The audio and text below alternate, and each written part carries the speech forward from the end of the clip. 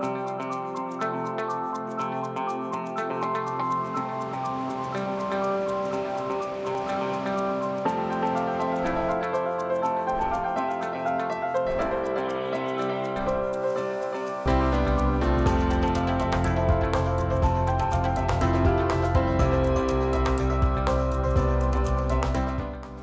afternoon and thanks for joining us. I'm Judy Simpson.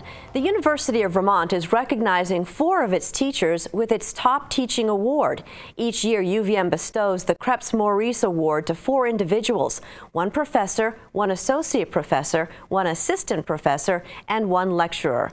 The award is named after two families with deep roots at UVM and recognizes faculty for excellence in teaching. Keith Silva profiles one of this year's recipients that kind of stuff is really important. James Jed Murdoch is a wildlife biologist and associate professor of the Wildlife and Fisheries Biology program in the Rubenstein School of Environment and Natural Resources at the University of Vermont. He's been named as a recipient of UVM's Kroepsch Maurice Excellence in Teaching Award for 2017. Nominations for this award come from students, faculty, and staff. The award is given for excellence in teaching, outside the classroom learning, and innovative teaching methods. Each winner receives a $2,500 cash prize. Leopard. Well, oh. When Murdoch received word that he'd won, he was doing what he does best working. I was just uh, finishing up grading actually, and uh, and uh, got a very nice call from the head of the committee, um, and was delighted. I mean, it's really a tremendous honor to, to receive this award, and I, I'm humbled by it, honestly. This is the only award that is strictly for teaching and student contact. So yes, it's a big deal.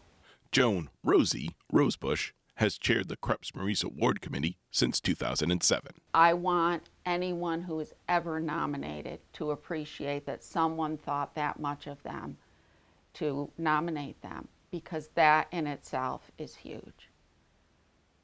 And we've got so many faculty members who, every year, who, you know, we, we give it to one, one in each category. So professor, associate professor, assistant professor, and lecturer, and lecturer including senior lecturer. And there are years that we sit and we just read over the file again, talk it through, you know, maybe go observe the class a third time because we want to make sure that we are picking, for the right reasons, top candidate. Murdoch began teaching at UVM in 2009. He says it took him a few classes to learn that being a teacher means recognizing not every student learns in the same way. I just jumped into this role of the so-called sage on the stage. You jump up there and you, you broadcast and you, and you just feel like students will get it. And, and over time you, you realize that in fact you need to you need to teach in ways that really um, identify with different kinds of learning types. And, and there's an art to it. There's definitely an art to it. When I was a student, we, we learned and interacted with the world differently. And the modern student engages differently. And, and, and uh, you know, uh, in the era of, of, you know, Facebook and Twitter and the internet and so forth, um, they're receiving lots of information real fast uh, they're good, quick thinkers. Um, and, and so you, in some ways, have to, you know, adapt learning style, ad adapt your teaching style to, to, to, to this. As a wildlife biologist, Murdoch's work takes him far afield from the classroom. He currently has research projects tracking red foxes in Mongolia, and he studied wildebeests and zebra populations in Zambia. Closer to home, He's working with an undergraduate student, Lucas Beck, on a research study that uses trail cameras to catalog the movement of animal populations in Vermont. For Beck, this project helps him gain the experience he'll need to pursue a career in wildlife biology. We have all these classes and kind of they're preparing you for research, um, but then it's a way messier process, I think, than sometimes it gets translated in, in the classes when you're looking at it after it's a finished pro product. And um, yeah, it's just been really valuable to actually be able to go out and see that process through from the beginning, hopefully to the end. Working one on one in the field with students like Beck, or in the larger setting of the classroom, Murdoch feels responsible for the students who take his classes.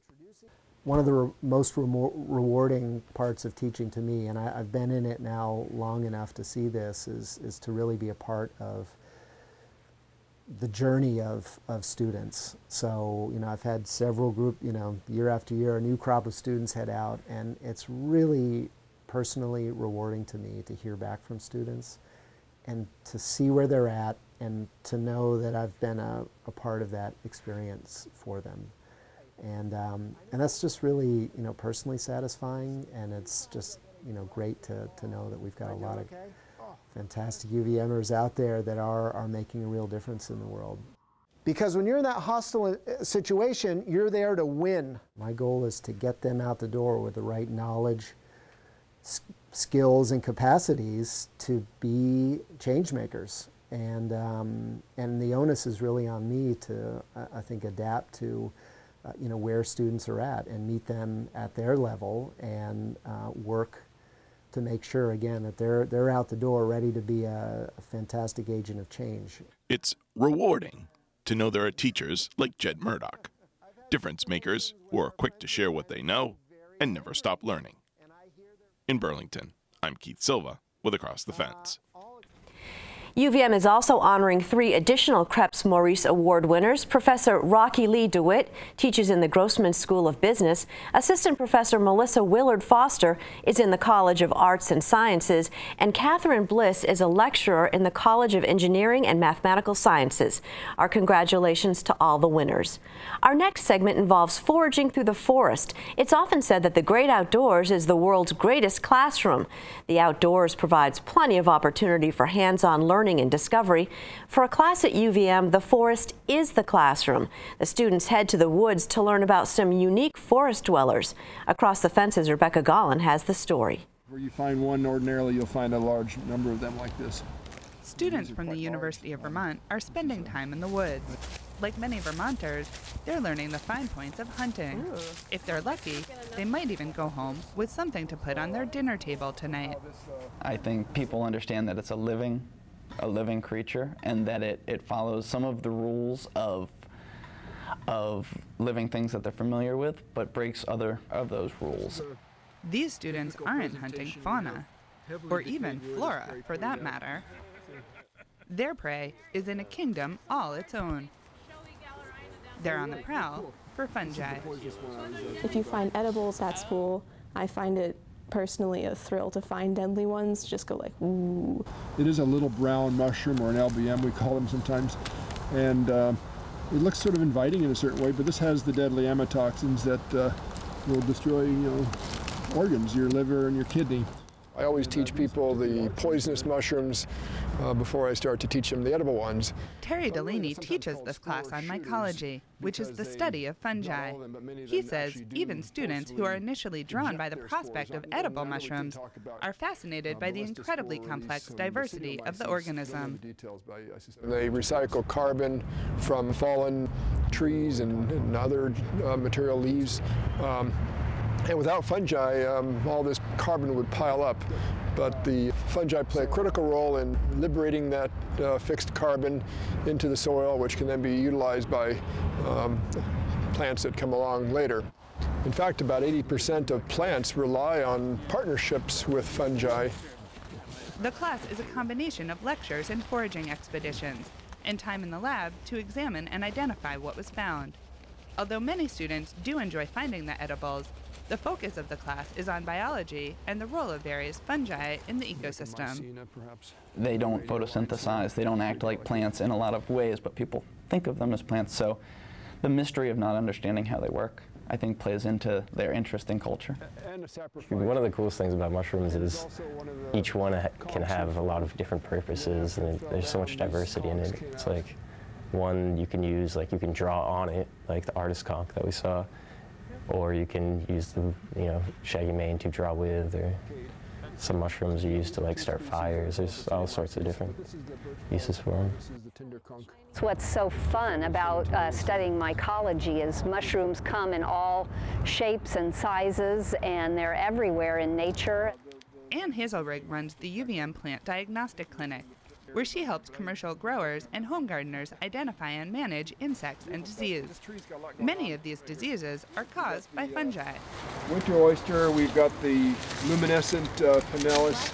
I think mushrooms are fascinating. Mycology is fascinating because we encounter them in all parts of our lives. We eat them.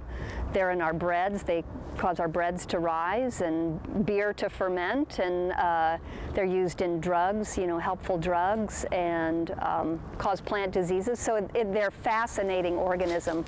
Hazelrigg is taking the class to learn more about the disease side of the organism and also to get more familiar with identifying fungi in general, including the mushroom she found on the way to this interview.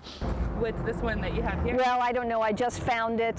It was growing in mulch, and I have no idea what it is. So I'll take it up to the lab and I'll get a spore print and take a look at the spores and try to go through a key to figure it out. I feel like mushrooms don't always get the respect they deserve. Carrie Oster is a self professed mushroom nerd who joined a local mycology society when she was in high school. Now that she's a plant biology major at UVM, learning more about how fungi fit into the forest ecosystem will help her understand what's going on. There's a lot of variations on this in terms of size and dimensions. and so You can learn like, oh, this mushroom is growing on this uh, tree, but this kind of mushroom only infects uh, already dead wood, so you know that the mushroom didn't cause the tree to die. Or just when you find a log that's on the ground and some of the shelf fungi are growing at 90 degree angles to each other, you can kind of tell by the mushrooms when the tree fell over. It's a lot of fun too when you get out in the forest and you start to uh, notice these things. Uh, often you'll sit down and start to look at a mushroom that you've just discovered and after immersing yourself into the environment for a minute or two you realize there's two or three others within arm's reach. It's certainly not too hard to find several species of fungi within arm's reach. While there are about 10,000 named species of mushrooms, scientists estimate that 80 to 90 percent of all the fungi on Earth have not yet been named or described by science. And even locally, uh, no doubt there are some undescribed species, but uh, locally we, we certainly have uh, many thousands of species uh, of mushrooms that, uh, that could be found. And uh, I would say that just estimating there are several hundred that are common. This semester I've seen you know, several hundred for sure. The abundance of species can be seen back at the lab with the wide variety of mushrooms the students have gathered. I found some oyster mushrooms, also the winter oyster, some amanita mushrooms.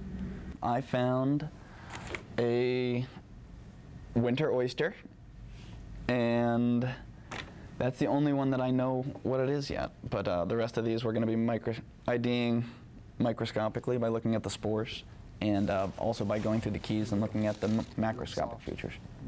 The students will each gather and identify a collection of about 15 different fungi. That will involve spending some time in the lab looking closely at identifying features. So what is it that you're looking at under the microscope? A few things. Most importantly for identifying the mushrooms, it seems to be the spores uh, seem to have the most characteristics, and that seems to be the end-all for uh, for what something is. Is if you look at its spore and its characteristics, that can make or break your ID. Well, it's not edible, but it's, uh, it's spectacular. Usually you find it way high up in a tree. So Several businesses around the state are cultivating edible mushrooms, and the popularity of local food has led to an increase in foraging. Delaney says that all of the attention just adds to the interest in fungi, which can lead to fruitful results. You could study fungi for a lifetime and still be learning things at the end of your lifetime. Ann Hazelrigg says the class has expanded her appreciation for the subject. I find that, you know, whether I'm on a run or walking in the woods, I'm always kind of looking down to see what, what I see, and that's fun. So it's a, a way to connect with nature, I think. You know, so I, it will be a lifelong learning thing for me. I saw something, an off-color brown in here. From the woods to the lab, these UVM students are in search of answers. With its many mysteries, the complex world of fungi will be worthy of pursuit for years to come. In Burlington, I'm Rebecca Gollin with Across the Fence. Yep, no problem. Thanks, Rebecca. And that's our program for today. Thank you for joining us. I'm Judy Simpson. I'll see you again next time on Across the Fence.